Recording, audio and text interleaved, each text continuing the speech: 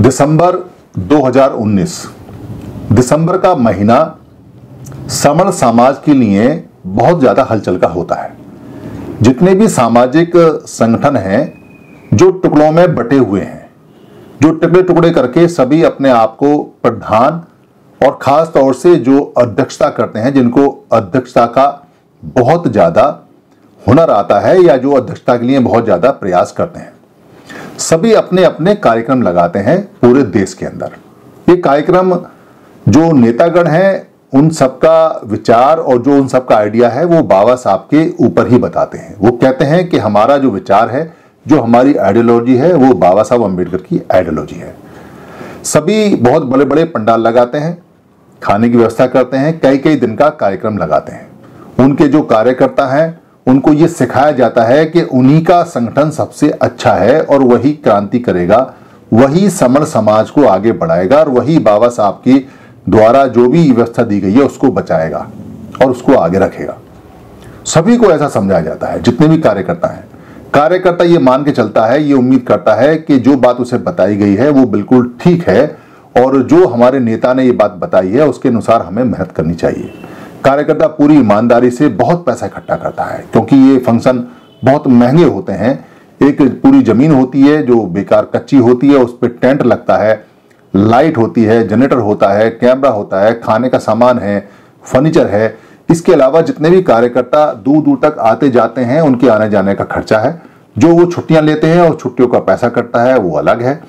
और जो व्यवस्था में सारी चीज़ें हलचल में आती हैं, वो अलग है।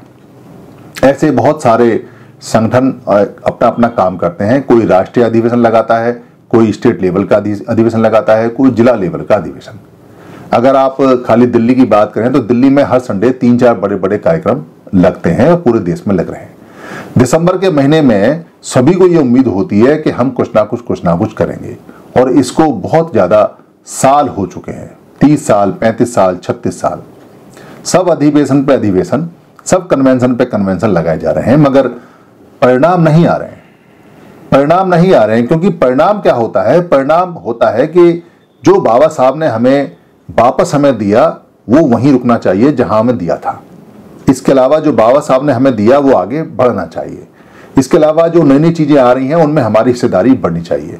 यानी देश में हमारी हिस्सेदारी पूरी बढ़नी चाहिए, चाहे वो इंडस्ट्री है, चाहे वो ज़मीन है, जायदाद है, पैसा है, नौकरी है, खेल है, या प्राइवेट नौकरियाँ हैं या बिज़नेस है या व्यापार है या जो भी तरह का काम यहाँ होता है, मगर हो इसके उल्टा रहा है और हमारी भागीदारी पहले से भी कम होती जा रही है।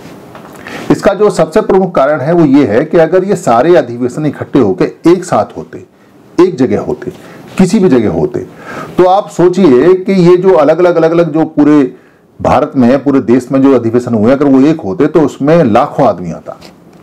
और जब लाखों आदमी एक विचार को, एक बात को आगे बढ़ाता है तो सरकार उस बात को मान लेती है क्योंकि वो एक ताकत होती है, एक समूह कहता है उसको। और समूह देश का हिस्सा है तो बड़ा हिस्सा होगा तो बड़ी हिस्सेदारी मिलेगी। तो कम से कम नुकसान रुक जाएगा और आपके फ़ायदे होने शुरू हो जाएँगे। मगर आप छोटे छोटे छोटे छोटे बहुत सारे अधिवेशन लगाओगे तो वो एक छोटी ताकत होती है, सरकार उसको मानने के लिए बाध्य नहीं होती है। क्योंकि आपस में ही कंपटीशन है। पहले तो आप आपस में ही लड़ लीजिए। एक का कार्यकर्ता दूसरे के यहाँ नहीं नहीं जाता, ऐसा उसको सिखाया जाता है। दूसरे का कार्यकर्ता तीसरे के यहाँ नहीं जाता। और सबका विचारधारा एक है और सबकी बात एक है। आप देखेंगे कितना पैसा और कितना, और ऊपर से सभी जो नेता हैं, वो एक वाक्य कहते हैं कि अकेला चना भाड़ नहीं फोड़ सकता। एक जो तिनका है, वो झाड़ू नहीं बन सकती, वो सफ़ाई नहीं कर सकता। जो चिड़ियाओं का झुंड है, अगर वो खाली एक चिड़िया होगी तो वो जाल को नहीं उड़ा सकती। कबूतर का झुंड होगा, चिड़ियाओं का झुंड होगा तो वो जाल को उड़ा के ले जाएगी। ये बातें सब वो सिखाते हैं, सब बताते हैं, मगर इस पर खुद अमल नहीं करते। कि अगर सारे संगठन इकट्ठे होंगे तो इतनी आफत करने की ज़रूरत नहीं है। हमारा, हमारे जैसे लोगों का बहुत पैसा बचेगा, हमारा समय बचेगा, हमारी बात में दम होगा। पंद्रह परसेंट लोग हैं, पंद्रह परसेंट लोगों के अगर हज़ारों संगठन होंगे, अगर हज़ारों नेता होंगे तो बात को नहीं सुनेगा। नेता बेशक हज़ार हो, मगर संगठन एक हो, क्योंकि पूरे भारत में दसियों हज़ार नेताओं की आवश्यकता है। इतनी सारी, साढ़े पाँच, छह हज़ार तो एमएलए की सीट है, एमएलसी की सीट है। साढ़े सात सौ के करीब लोकसभा में सीट है, राज्यसभा में सीट है। इसके अलावा कितने सारे गाँव के प्रधान हैं, जो छह सात लाख गाँव के प्रधान हैं, फिर वार्ड के काउंसिलर मेंबर, यानी कि लाखों नेताओं की ज़रूरत है। नेता बेशक लाखों हो, मगर अधिवेशन एक हो, संगठन एक हो कार्य प्रणाली एक हो। इसको आप सोचिए, इसको देखिए, इसको समझिए। क्योंकि नेता कभी नहीं चाहेगा कि वो एक सामूहिक गणतंत्र व्यवस्था में आ जाए। उसका जो व्यक्तिवाद है, जो उसमें लीडरशिप का एक ऐसा जुनून होता है कि वही वही आगे रहे, इसलिए वो किसी को आगे भी नहीं बढ़ाएगा। वो बात मानेगा भी नहीं और गणतंत्र की बात करेगा, मगर गणतंत्र पर आधारित व्यवस्था की बात नहीं करेगा। उसे अपने यहाँ लागू नहीं करेगा। उसे स्वयं नेता बनने का शौक भी हो जाता है और कई बार वो बहुत ज़्यादा इनसिक्योरिटी फील करता है, उसे लगता है मेरा क्या होगा अगर मुझसे काबिल लोग आ गए।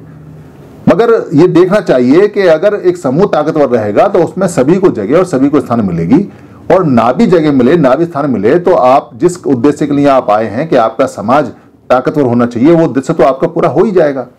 अलग अलग रहने से हज़ार साल तक भी आपको कुछ नहीं मिलने वाला। दस हज़ार साल तक भी आपको कुछ नहीं मिलने वाला, क्योंकि छोटी छोटी ताकतों को कभी नंबर नहीं आता कि वो सत्ता में या वो सरकार से कुछ प्राप्त कर सकें या उनकी बात सुनी जाए।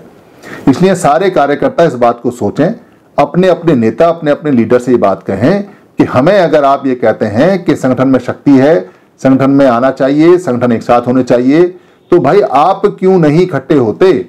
आपको क्या दिक्कत है? क्या परेशानी है?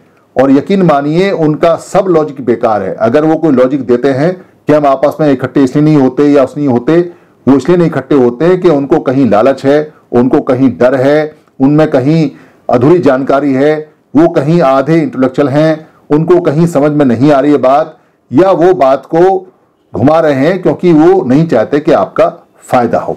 फ़ायदा हमेशा संगठन में है। संगठन अगर लोगों का है तो संगठन नेताओं का भी होना बहुत ज़रूरी है।